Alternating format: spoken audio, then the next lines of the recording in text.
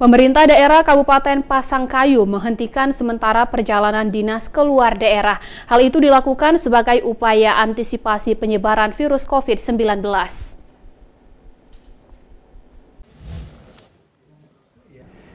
Juga penyebaran virus corona, pemerintah daerah Kabupaten Pasangkayu menghentikan sementara perjalanan dinas keluar daerah. Hal itu disampaikan saat Pemka Pasangkayu menggelar rapat koordinasi dalam pencegahan virus COVID-19.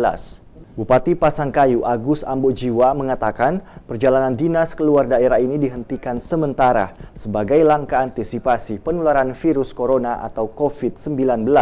Penghentian perjalanan dinas sementara ini belum diketahui hingga kapan berakhir.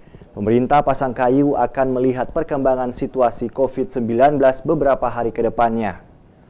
Selain itu, PMK Pasangkayu juga akan membentuk tim gugus pencegahan virus corona. Perjalanan dinas keluar daerah kita lihat kalau tidak sangat penting sekali untuk tidak lakukan dulu perjalanan dinas keluar daerah. Mulai hari ini semua pejabat di daerah untuk tidak melakukan perjalanan dinas luar daerah cukup melakukan uh, kegiatan. Nah, kita memantau satu dua hari ke depannya seperti apa perkembangannya dan kita lagi membuat keputusan-keputusan yang lebih bijaksana lagi dalam rangka menyikapi itu. Tapi yang pasti langkah-langkah kita sudah lakukan dalam rangka pencegahan. Bagaimana langkah-langkah itu nanti akan kita sampaikan kepada seluruh wartawan hasil rumusan tadi sementara kita rumuskan ini.